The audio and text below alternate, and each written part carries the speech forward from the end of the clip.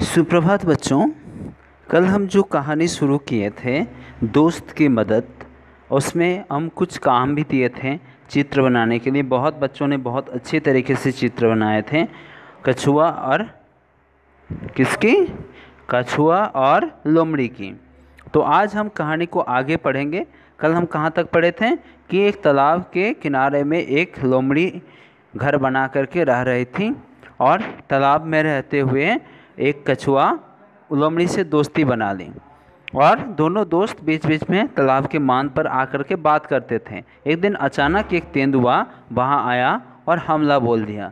उसके बाद लोमड़ी तो भाग करके अपना डेरा पे पहुँच गया, लेकिन, पहुँच गई, लेकिन कछुआ बेचारी बहुत धीरे धीरे चलता है तो वो अपना तालाब तक नहीं पहुँच पाए।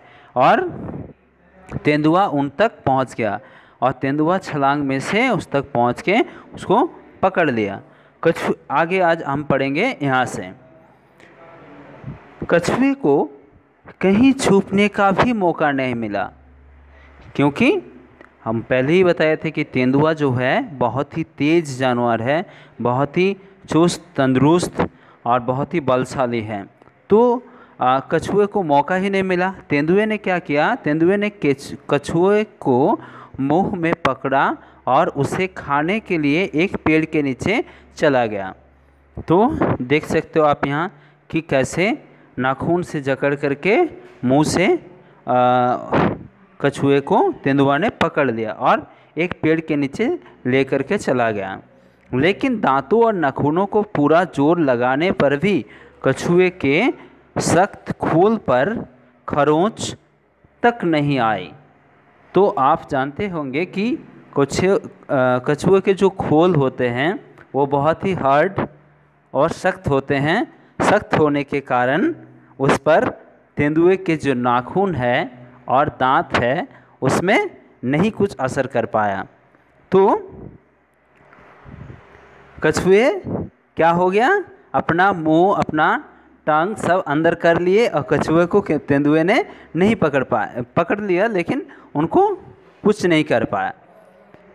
लोमड़ी अपनी मान से यह देख रही थी। लोमड़ी क्या कर रही थी? ये सारी चीज़ वो देख रही थी। उसने कछुए की, कछुए को बचाने की तरकीब सोची। उसने मान से झाँक कर बाहर देखा और भोलेपन के साथ बोली, तेंदुए जी कछुए के खोल को तोड़ने का मैं आसान तरीका बताती हूँ। तो लोमड़ी यहाँ अपना दोस्ती निभाती है। कैसे? लोमड़ी को लगता है कि मैं बहुत चलाकी के साथ तेंदुए से कछुए को बचा सकता हूँ, बचा सकती हूँ। तो उन्होंने क्या किया? तेंदुए को बोला कि, तेंदुए जी, कछुए कछुए के खोल को तोड़ने का मैं आसान तरीका बता, बताती हूँ। तो तेंदुए को लगा कि हाँ हो सकता है इसको मैं तो तोड़ नहीं पा रहा हूँ। लोमड़ी जो बोलें, इसके तहत हम इसको खा लेंगे। लेकिन उन्होंने क्या तरीका बताया? इसे पानी में फेंक दो। तेंदुए को क्या बताया कि इसे पानी में फेंक दो, थोड़ी देर में पानी से इसका खोल नरम हो जाएगा। चाहो तो आजमा कर देख लो। तो तेंदुए को जब लोमड़ी ने बताई कि इनको इन आप नहीं खा पा रहे हो तो आसान तरीका ये है कि इनको पानी में फेंक दो तो इनका खोल जो है नरम हो जाएगा फिर आप खा लेंगे इसको। तो तेंदुए को विश्वास आ गया और तेंदुए को आ, और क्या कहा कि आजमा करके भी आप देख सकते हैं। तो तेंदुए ने कहा ठीक है अभी देख लेता हूँ। ये कहकर उसने कछुए को पानी में फेंक दिया। बस फिर क्या था? गया कछुआ पानी में? तो इस तरह से कछुआ जब पानी में गया तो पानी उनका घर है और तेंदुए तो पानी में जा नहीं सकते हैं। कछुआ फिर, अब कछुआ कछुए क्या किए? अपना घर में आराम से रहने लगे। तो ये था कहानी, कैसे लोमड़ी दोस्ती निभाई और कैसे लोमड़ी अपना दिमाग को काम पे लगाया और चलाकी के साथ तेंदुए के हाथ से अपना दोस्त कछुआ के कछुआ को बचा लिया। तो ये था आज का कहानी। आज इस कहानी को आज हम कंप्लीट किए और इस कहानी को जो है, आप आराम से, सुंदर करके आराम से, धीरे से एक एक शब्द को, पूरा कहानी को आप अपना कॉपी में लिखेंगे और ग्रुप में भेजेंगे।